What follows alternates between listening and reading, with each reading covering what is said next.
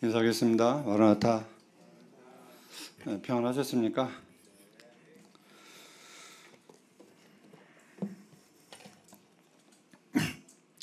오늘 점심에 메뉴가 뭔 나온지 아세요? 기대가 좀 되시나요? 기대 안 되시나요? 어, 저는 기대를 하고 있는데 메뉴를 잘 모릅니다. 어, 관심을 가지고 기대를 하면 더 맛있게 음식을 먹을 수가 있습니다. 그냥 되는 대로 먹죠. 이러면 별 재미도 없고 오늘 메뉴 하나님 어떤 메뉴를 주실까 이렇게 생각하면서 어, 기대하면 감사가 더 변화됩니다. 하나님의 말씀도 마찬가지입니다. 하나님 말씀도 어, 오늘 영적인 말씀이 어떤 말씀을 하나님 주실까? 뭐 준비한 사람도 마찬가지겠지만 말씀을 전하 입장에서도 마찬가지입니다. 애찬하시는 자매님들이 자기 찬양부에 들어오면 이번 주는 뭘 할까 많은 고민을 하고 기도하고 준비하는데 말씀을 전하신 형제님들도 동일한 생각을 가지고 어, 한 달에 한 번씩 하시는 분은 한 달 내 준비하고 또 두 번 하면 두 번 정도 매일매일 어떤 말씀을 하나님이 삶 속에 주실까 하는 이런 기도 속에서 어, 준비하게 됩니다. 저는 TV를, 보, 음, 음, TV를 보고도 TV에서 어떤 하나님이 교훈을 주실까, 어떤 영적인 교훈을 주실까 그런 마음으로 어, TV도 보기도 합니다. 또 스포츠도 마찬가지고요. 모든 면에서 삶 속에서 하나님의 음성을 듣고자 하는 이런 관심 속에서 사는 것이 얼마나 소중한가를 생각하면서 성도님들에게 교훈이 되기를 바랍니다. 우리 지난주에 좀 복습을 하게 되면 지난주 말씀이 어떤 주제였죠? 주무심이 가까운 때에 우리의 믿음을 점검하자는 쪽에서 구원받은 믿음과 또 성도들이 주님을 맞을 수 있는 믿음에 대해서 어, 지난주에 짧은 시간이지만 어, 교제를 드렸습니다. 어, 믿음은 어디에 선다고 하셨죠?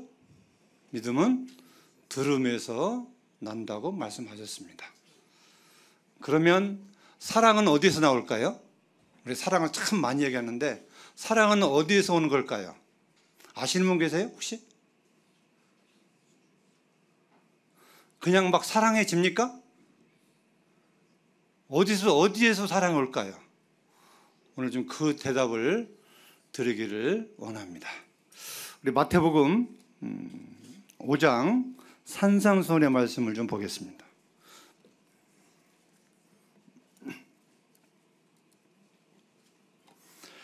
5장 7절 말씀을 같이 읽도록 하겠습니다.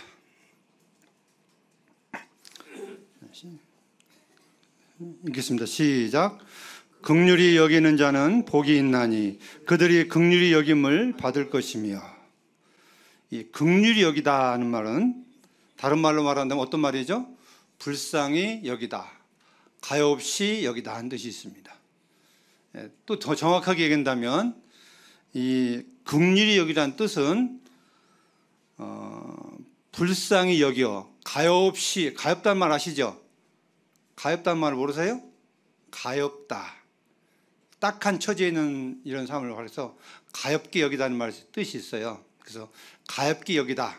불쌍하고 가볍게 여겨 도움을 주는 행위를 가리켜서 극률이 여기다 하는 뜻이 있습니다.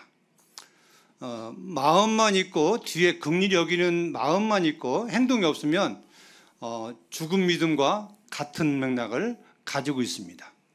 내가 극률이 여긴다면 사랑은 어, 저절로 오게 돼 있습니다. 극률은 사랑과 뗄래야 뗄 수 없는 관계입니다. 그래서 우리 하나님의 긍휼을 보면 하나님의 사랑을 보면 하나님의 사랑이 어디서부터 왔느냐? 어디서부터 왔죠? 어디서부터요?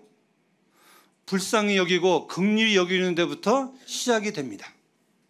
예, 우리를 죄에서 구원하신 그 엄청난 사랑의 계획이 어디서부터 오느냐? 바로 이 불쌍히 여기고 하나님이 긍휼히 여기시는 데부터 시작이 된다고 하는 것입니다. 오늘날 세상을 보면 극률이 있는 세상이 없는 세상이에요? 사랑이 메말랐다고 하는 것은 극률이 없다는 것과 같은 의미입니다. 오늘은 하나님의 극률에 대해서 좀 살펴보기 원하는데 어, 이런 얘기를 들은 적이 있습니다. 고등학생 다섯 명이 한 지적 조금 직전 장애아를 어, 괴롭히는 왕따시키는 이런 일이 있었다고 합니다. 그 정도가 얼마나 심하냐면 견딜 수 없을 정도로 틈만 나면 데려다가 한쪽 구석에서 어, 구박하고 욕하고 뭐 이런 일들이 있었다고 그래요. 이 아이가 너무나 힘들어 가지고 결국 경찰에 고발을 하게 됩니다. 경찰에서 다섯 명을 이제 데려다가 너 왜 이렇게 했냐? 너 왜 좀 이렇게 그 어려운 학생이 있으면 도와주고 이렇게 좀 해야지 왜 이렇게 했냐? 이렇게 예, 취재를 하니까 어, 한 학생이 뭐라고 말씀하는지 아세요? 내가 이 아이를 괴롭힐 때에 그 참지 못하는 그 괴로움 이것이 마음에 큰 쾌락이 됐다고 하는 거예요. 이 놀리는 사람 마음에. 그러니까 이 구박하고 이 그 그냥 이 그 그런 사람들은 또 그 쾌감이 있는가 봐요. 들으셨나요? 쾌감이 있대요. 이게 나보다 못 나보다 못난 연약한 사람을 막 구박하는 그럼 막 그가 막 힘들어하는 것들을 보면 이 속에서 막 쾌락이 기쁨이 일어난다고 하는 거예요. 이게 아마 죄악의 근성에서 오는 거라고 믿습니다. 그러한 일화가 어, 있었다고 합니다. 기가 막힌 일이죠. 이게 뭡니까? 긍휼이 없는 데서 오는 그것이죠. 자기 쾌락을 위해서는 그 어떤 것도 두지하지 않고 힘들게 하고 괴롭히는 이런 데서 오는 것입니다. 이것도 디모데후서 3장에 나와 있는 자기를 사랑하는 자기 쾌락을 위해서는 그 어떤 것도 양심의 가책이 없이 이 그 행위를 저지르는 이런 모습을 보게 됩니다. 그런 얘기를 좀 제가 들으면서 참 세상은 살기, 예, 살기 좋은 세상이 아니라 참 한숨만 나오는 세상이다. 이렇게 결론을 내릴 수밖에 없습니다. 오늘 본문 말씀에 보면 극률이 여기는 자는 복이 있다고 말씀하셨습니다. 이 팔복장입니다. 그러면서 뭐라고 말씀하셨냐면 그 극률이 여기는 사람에게 하나님이 극률이 여길 것이라고 말씀하고 있습니다. 이 말씀을 반대로 한다면 우리가 삶 속에서 극률이 여기지 못하는 삶을 살면 우리 하나님 앞에서도 극률이 여김을 받지 못한다고 하는 것입니다. 이건 지난 시간에 확실한 믿음을 갖지 않으면 버리운 자라고 말씀하시는 그 두려운 말씀과도 일맥상통이 됩니다. 극률이 여기는 것은 해도 되고 안 해도 되는 것이 아닙니다. 안 하면 내가 어려운 일을 당할 때에 하나님이 외면한다고 하는 거예요. 내가 어떤 성도들의 어려움을 보고 딱한 사정을 보고 이런 것들을 내가 보고 들었을 때에 내가 그에게 어떤 도움을 못 주면 내가 어려웠을 때에 성도들은 물론이고 하나님의 극률이 나에게 없다고 하는 엄청난 두려움의 말씀입니다. 그래서 이 말씀을 계속 되새기면서 극률이 없는 자는 극률이 여김을 받지 못한다. 근데 더 두려운 말씀이 있더라고요. 우리 야고보서 2장의 말씀에 보시면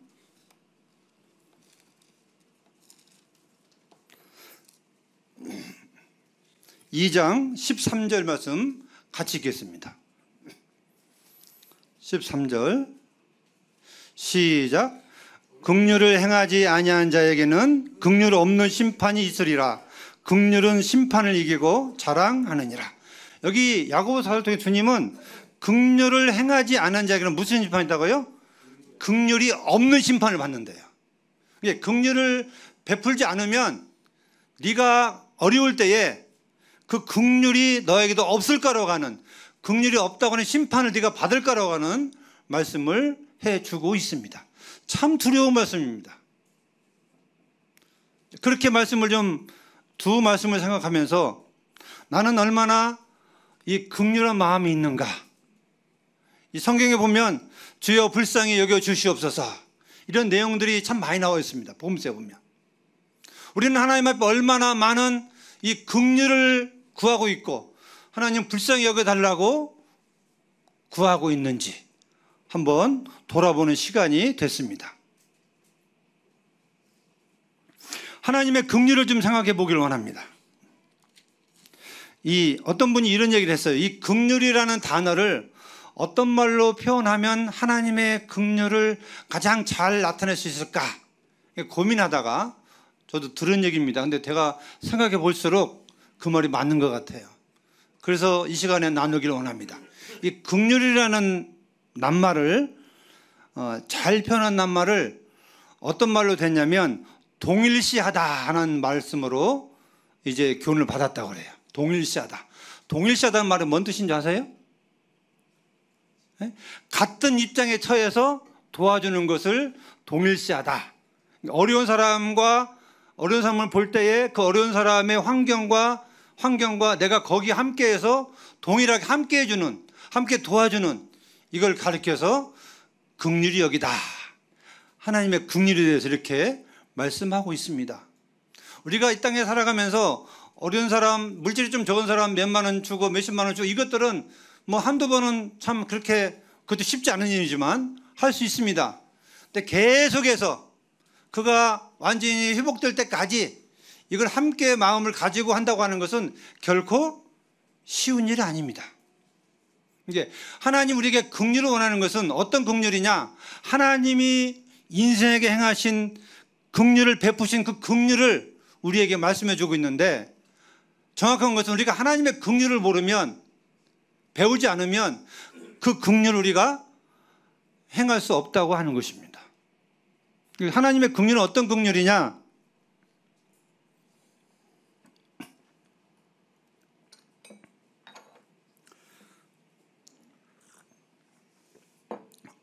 우리 에베소서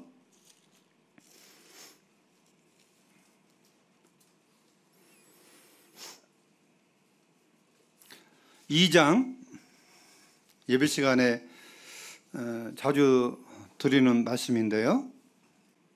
3절로부터 읽어드리면 전에는 우리도 다 그 가운데서 우리 육체의 심을 따라 지내며 육체와 마음에 원하는 것을 하여 다른 이들과 같이 본질상 진노의 자녀였더니 극률이 풍성하신 하나님이 우리를 사랑하신 그 큰 사랑을 인하여 허물로 죽은 우리를 그리스도와 함께 살리셨고 너희는 은혜로 구원을 받은 것이라.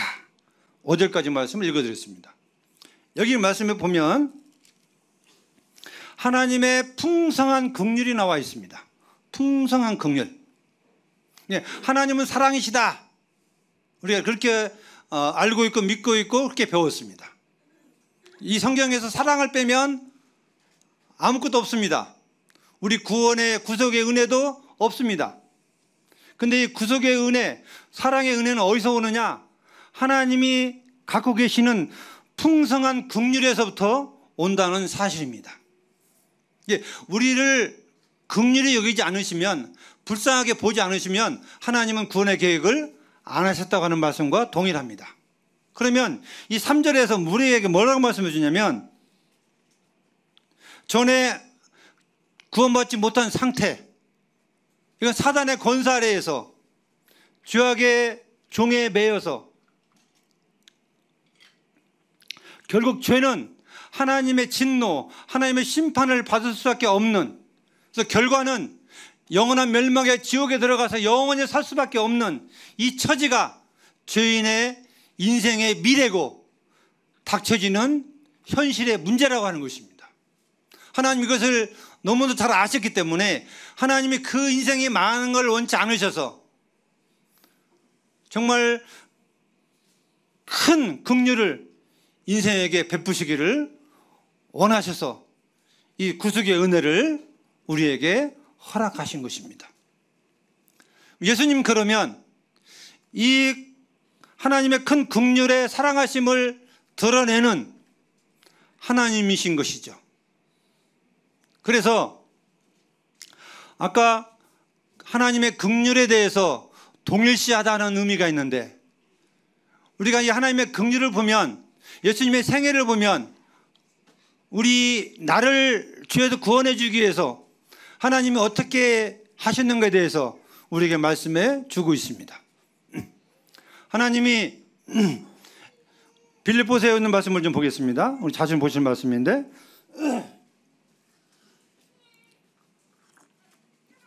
2장 어, 6절 7절에 보시면 그는 근본 하나님의 본체시나 하나님과 동동됨을 취할 것으로 여기지 아니하시고 오직 자기를 비어 종애를 형체를 가져 사람과 같이 되셨고 이렇게 말했습니다. 자, 인간인 우리 죄인들을 극률히 여기시는 그 마음이 어떻게 드러났냐면 사람처럼 드러났다고 하는 거예요. 그 첫째로 하나님의 모든 권리 여기 하나님 근본 하나님의 본체가 가지고 계시는 하나님과 동급된 이 모든 권리를 다 내려놓으셨다고 하는 거예요. 그리고 무엇으로 오셨다고요? 사람으로 오셨다고 하는 것입니다. 무엇을 위해서요? 우리에게 긍휼을 베푸시기 위해서. 그렇게 하나님이 신 예수님이 하셨다고 하는 것입니다. 이게 이제 동일시하고 하는 긍휼입니다. 동일시. 이게 하나님이 사람이 되신 것은 하나님 사람과 하나님의 동일시하는 비록 하나님이 육체를 입고 오셨지만 사람과 동일한 육체를 가지고 오셨다고 하는 것은 우리를 불쌍히 여기사 극률 여기사 동일시하는 극률 여김을 갖고 오셨다고 하는 것입니다.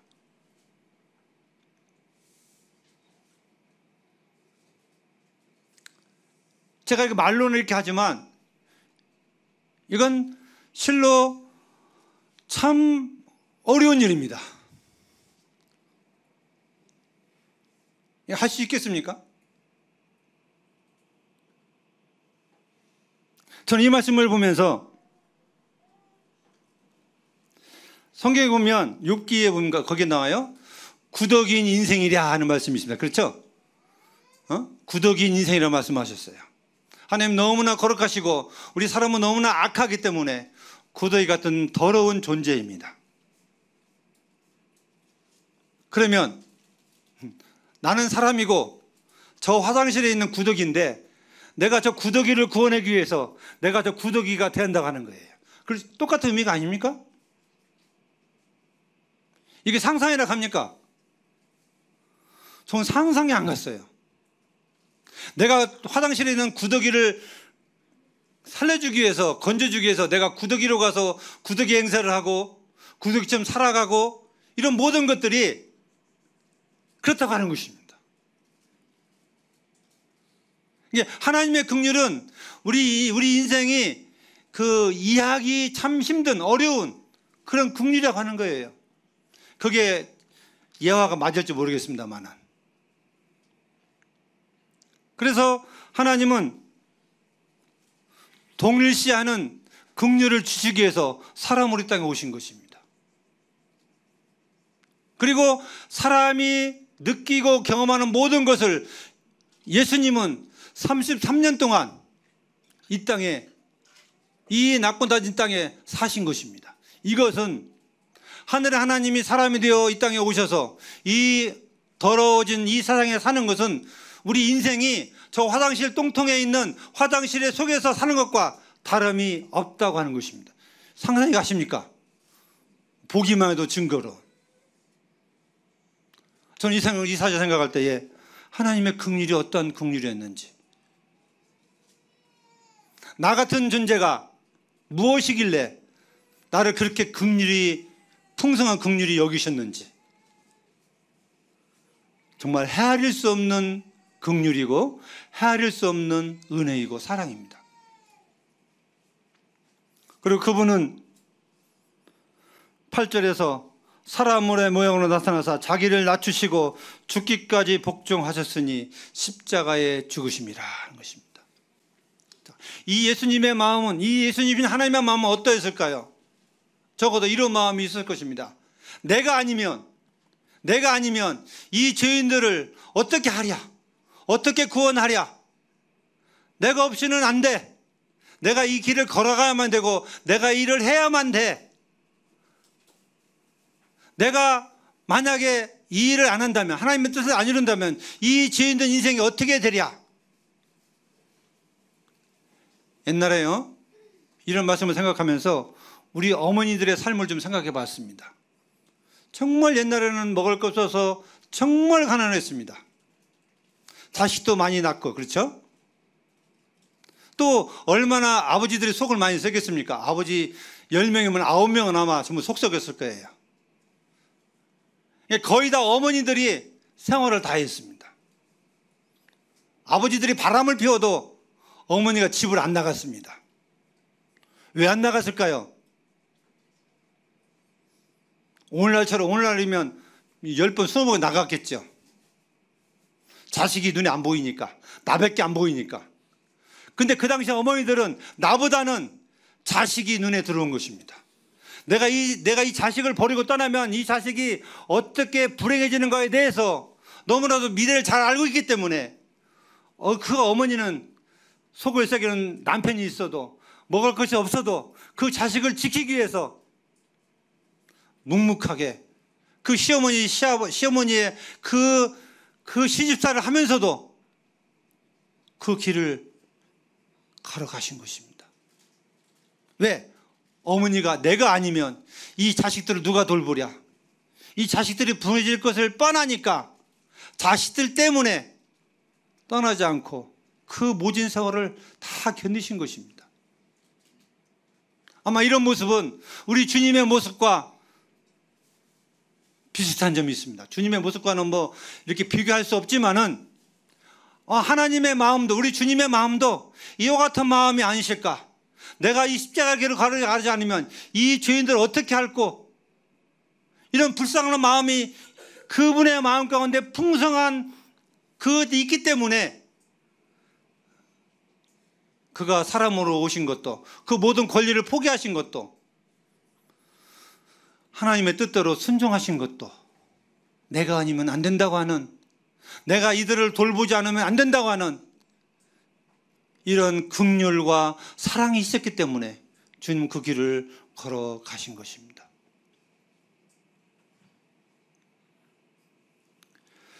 마태복음 5장 읽었던 말씀 극률이 여기는 자는 복이 있나니 우리는 하나님의 자녀들입니다.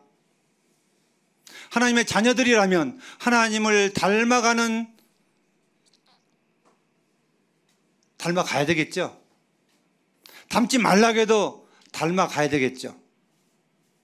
우리는 그 하나님의 풍성한 긍휼을 우리가 배워서 우리는 마음으로 믿어서 우리 경험했잖아요. 생각하면 할수록 그 긍휼에 풍성하신 하나님이 어떠한 사랑을 우리에게 주셨는지 우리는 삶을 돌아봐야 됩니다.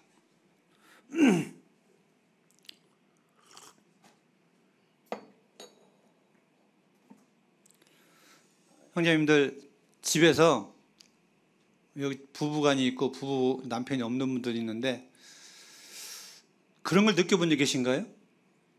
남편이 있어야 될 이유 내가 있어야 될 이유 어떤 이유인가요?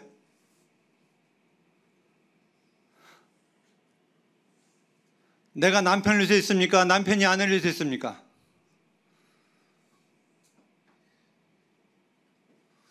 대답을 못 하시네요. 요즘은요, 부부 간에도 이기적이에요. 정말 기적이면 내가 결혼하는 그 대상도 내가 저 아가씨를 만나면 내가 저 총각을 만나면 내가 도움이 되고 내가 유익이 되면 내가 선정하는데 내가 좀 손해볼 것 같으면 아, 아니라고 합니다. 근데 하나님 안에서도 주님 안에서도 내가 저 형제 저 자매를 만나면 내가 도움이 될 것 같아요. 내가 행복할 것 같아요. 그러면 주님의 뜻이라고 생각하고 내가 조금 손해 볼 것 같으면 주님의 뜻이 아니라고 합니다. 이거 어디서 왔는지 모르겠어요. 뭐 세상은 그렇다 쳐요. 근데 주님의 극률하심을 깨달은 우리들이 그러면 되겠습니까?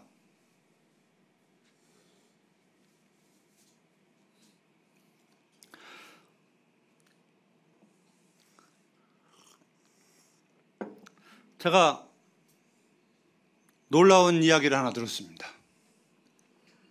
방송에 나온 겁니다. 보신 분들일지 모르지만 젊은 처녀 총각이요 노숙 생활을 합니다.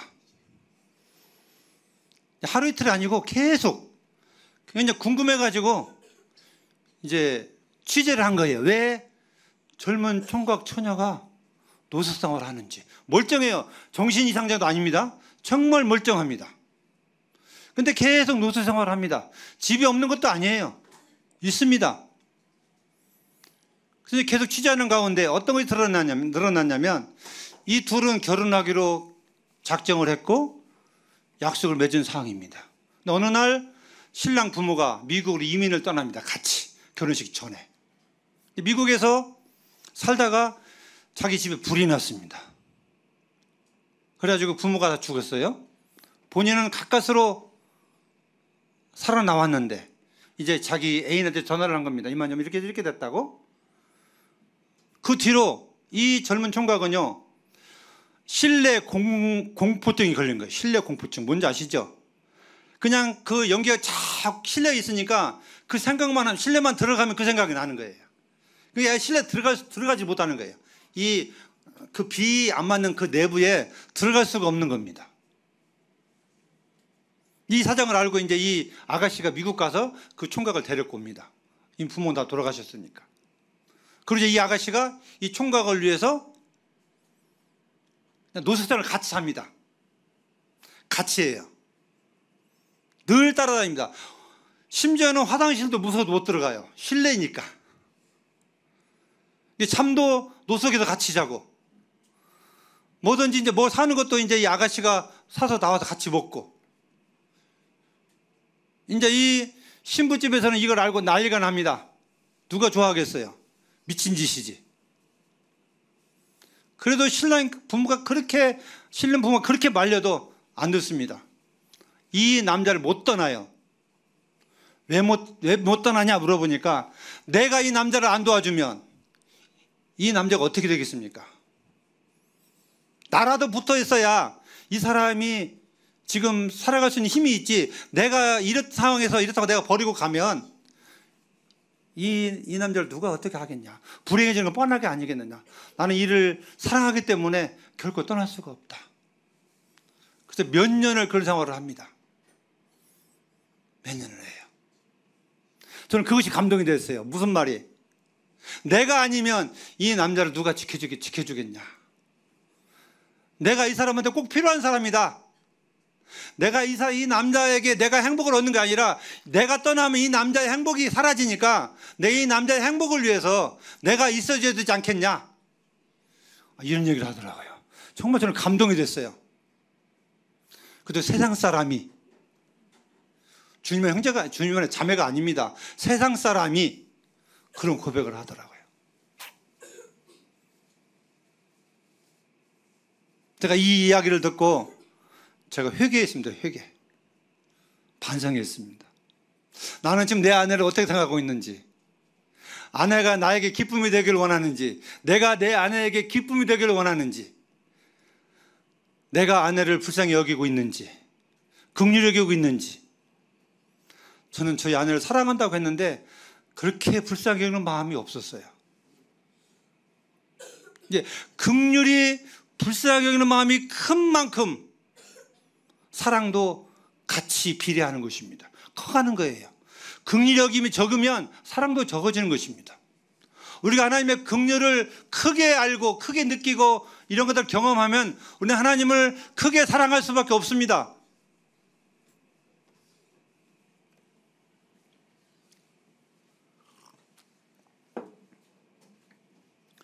저는 그래서 저와 우리 성도님들에게 교훈이 되곤 합니다. 내 집안에 있는 내 아내 남편 얼마나 불쌍히 여기십니까? 하루 일을 끝나고 오시면 하루 나, 집 나가서 남편들 돈 벌면 힘든 거 알잖아요. 또 아내들은 집에서 살림하면 얼마나 힘든 걸 서로 알잖아요. 모르면 할 수가 없겠죠. 근데 알면 어떻게 반응이 나와야 될까요? 이 배려는 극률과 사랑에서 나오는 것입니다. 내가 존재하는 것은 자식이 나를 위해서, 아내가 나를 위해서 그런 것이 아니라 내가 아내를 위해서, 내가 자식을 위해서 내가 얼마만큼 여기는 마음을 가지고 있는지. 또 반대로 자식은 부모의 희생에 대해서 얼마나 극리 여기는 마음을 갖고 있는지. 우리는 각자 위치에서 돌아봐야 됩니다. 세상에서도요, 고생을 해야 효자가 된다고 그래요. 엄마 아빠가 정말 고생을 많이 하는 걸 보고 알아야만 그 엄마 아빠 삶, 삶을 도와주는 마음이 내 마음에 생기는 거예요. 막 내 자식 오냐오냐 막 해서 그냥 그밖에 모르게 키면 그건 분명 은혜를 알 수가 없어요. 막 그냥 호의호식해서 모든 걸 다 들어주고 이렇게 이렇게 해주는 것이 부모 역할이 아닙니다. 자식은 부모의 삶을 다는 모르지만 조금이라도 알아야 됩니다. 그래서 우리 엄마가 날밥 해주고 빨래, 빨래 해주는데 얼마나 힘든지 우리 여기 학생들이 있는데 고백해보나요? 엄마 밥 해주고 빨래 해줘서 고마워요. 감사해요. 아빠 돈 벌어오라고 고생하셨어요. 감사해요. 그런 얘기 하나요? 우리 학생들 누구야? 우리 평강에 하나요? 안 하면 안 돼요. 저는 지금 저희 집에 우리 승찬이, 선화, 경찬이 어릴 때 쓴 편지가 다 있습니다. 제가 아침에 일찍 나가면 저희 늦게 오거든요. 제가 이제 돈 번이라 고생한 줄 알아요. 우리 아이들이. 집에 늘 없으니까. 그러니까 어버이날 때 생일 때면 엄마 아빠에 대한 그 감사의 그 편지를 씁니다. 지금 제가 가지고 있어요, 지금. 공표를 안 하고 있지만. 아마 제가 돈이 많아가지고 막, 늘 집에만 있고 뭐 놀러 다니면 그런 거 안 하겠죠. 감사함이 없겠죠.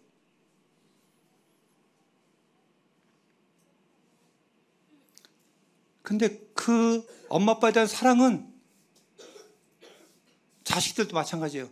엄마 아빠를 불쌍히 여기는 고생한다고 하는 그 사실을 알아주는 여기에서부터 순종과 효도가 사랑의 시작이 되는 것입니다.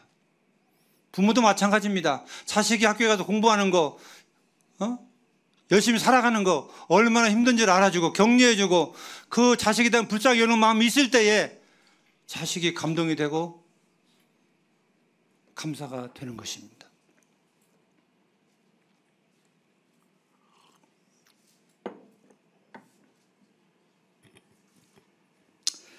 제가 이 사실을 알면서 뭘 배웠냐면 우리가 기도할 때막 그냥 유구장창 막 하잖아요. 그죠? 근데 기도는 딱 한 가지면 되겠더라고요. 주여 불쌍히 여겨 주시옵소서. 이 한마디면 그냥 다 되는 것 같아요. 주여 나를 불쌍히 여겨 주시옵소서. 자, 하나님은 예수님은 전지 전능하신 분입니다. 내가 구차하게 내 형편이 이렇고 저렇고 저렇고 저렇고 다 얘기 안 해도 하나님 다 알고 계세요. 그러니까 우리에게 주님이 요구하는 뭐냐? 하나님이여 불쌍히 여겨 주시옵소서.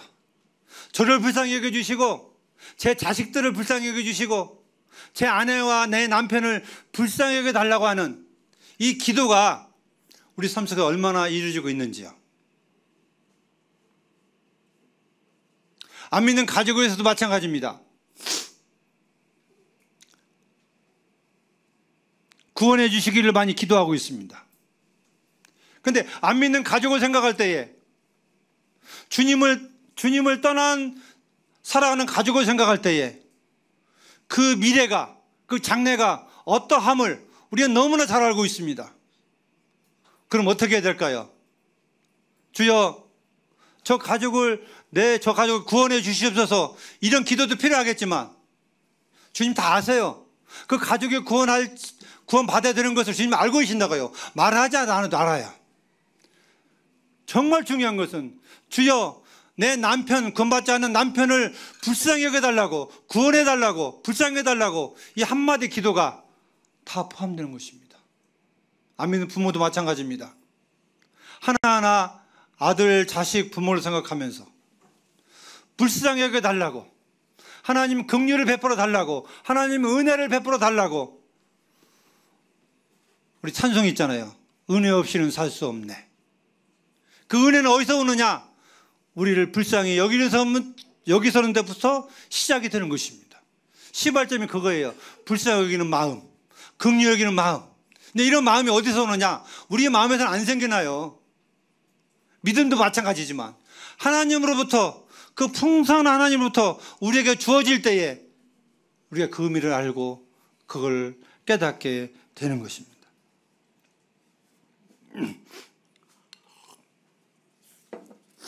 제가 말씀을 준비하면서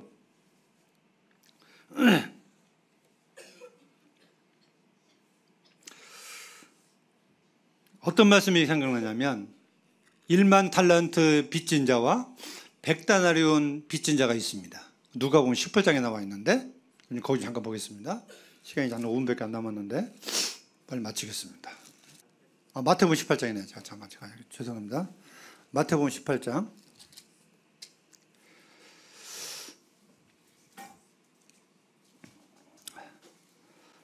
23절로부터 어, 보시면 그러므로 천국은 그 종들과 결산하려 하던 어떤 임금과 같으니 결산할 때에 만 달란트 빚진 자 하나를 데려오매 갚을 것이 없는지라 주인이 명하여 그 몸과 아내와 자식들과 모든 소유를 다 팔아 갚게 하라 하니 26절 그 종이 엎드려 절하매 절하매 이르되 내게 참으소서 다 갚으리이다 하거늘 그 종의 주인이 불쌍히 여겨 놓아 보내며 그 빛을 탕감하여 주었더니 그 종이 나가서 자기에게 백단을 이온 빚진 동료 한 사람을 만나 어, 붙들어 목을 잡고 이르되 빛을 갚으라 하매 그 동료가 엎드려 구하여 이르되 나에게 참으소서 갚으리이다 하되 허락지 아니하고 이에 가서 그가 빛을 갚도록 옥에 가두거늘 그 동료들이 그것을 보고 몹시 딱하게 여겨 주인에게 가서 그 일들을 다 알리니 이에 주인이 그를 불러다가 말하되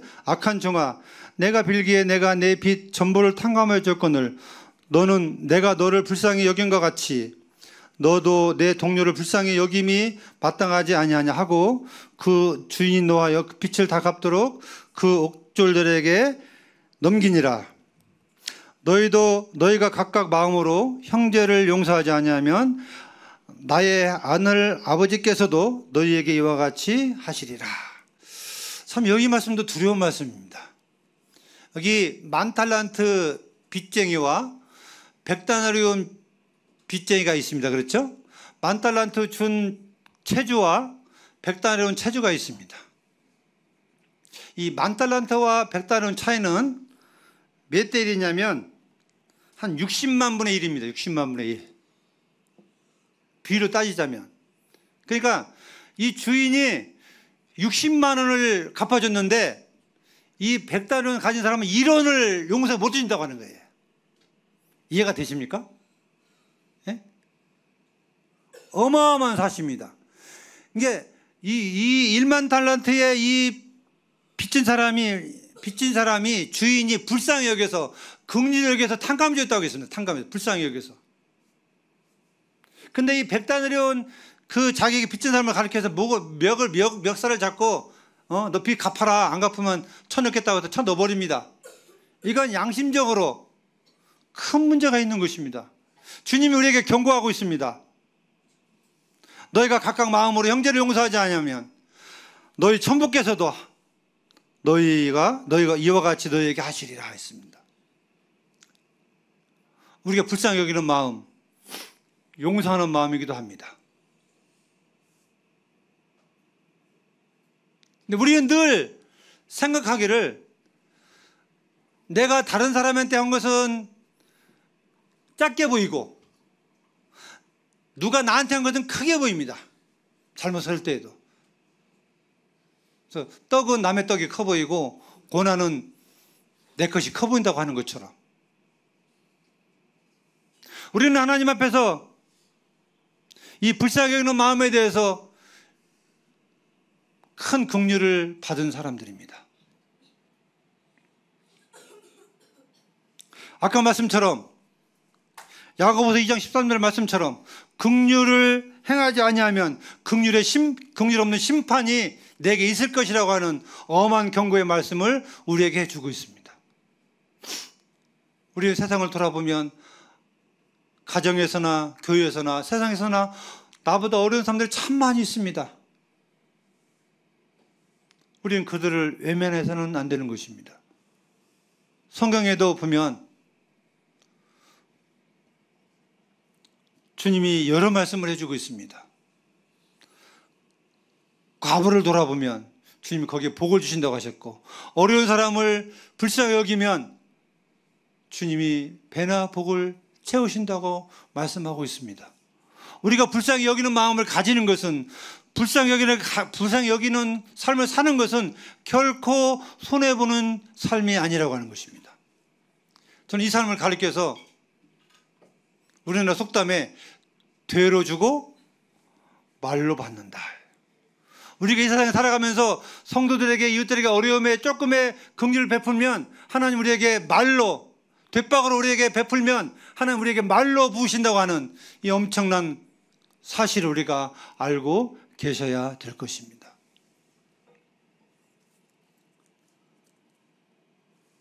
우리 마음이 사랑이 없는 것은 냉랭한 것은 극률함이 없다고 하는 것입니다. 우리는 그 풍성하신 극률의 하나님 앞에 극률함을 주시도록 기도해야 되고 늘 삶 속에서 불쌍히 여겨 달라고 우리는 기도해야 됩니다. 근데 이렇게 기도 안 한 이유가 있어요. 언제냐? 내가 교만해질 때. 내가 마음이 높아질 때. 내가 모든 삶이 하나님의 은혜로 산다는 사실을 망각하고 내가 내 힘으로 내가 뭘 벌어서 어떻게 해서 어떻게 해서 내 힘으로 사는 것처럼 살아갈 때에 마음이 냉랭해지고 불쌍히 여는 마음이 없고 사랑의 마음이 없어지는 것입니다. 갈라디아서 6장 7절에 보시면 사람이 무엇으로 심든지 그대로 거둔다 했습니다. 저를 포함해서 우리 성도님들이 이 불쌍히 여는 마음을 가지고 불쌍한 것들을 많이 땅에 심으면 하늘에서 하나님이 우리에게 약속해 주신 대로 극률이 여김을 받게 될 것입니다. 심는 대로 거둔다는 말씀을 늘 마음속에 잊지 마시고 어, 주님 앞에 이 불쌍히 여기는 마음, 극률 여기는 마음이 없으시면 우리가 아침 저녁으로 삶 속에서 주님 이 메말라 있는 이 마음 속에 긍휼 여기는 마음을 해, 다, 갖게 해달라고. 구원받지 않은 구두자들을 향해서 가족을 향해서 어려운 가족과 또 이 성도들을 향해서 내 마음에 긍휼을 주시도록 우리는 늘 기도하면서 살아가시는 성도님들 되기를 바라면서 말씀을 마치겠습니다.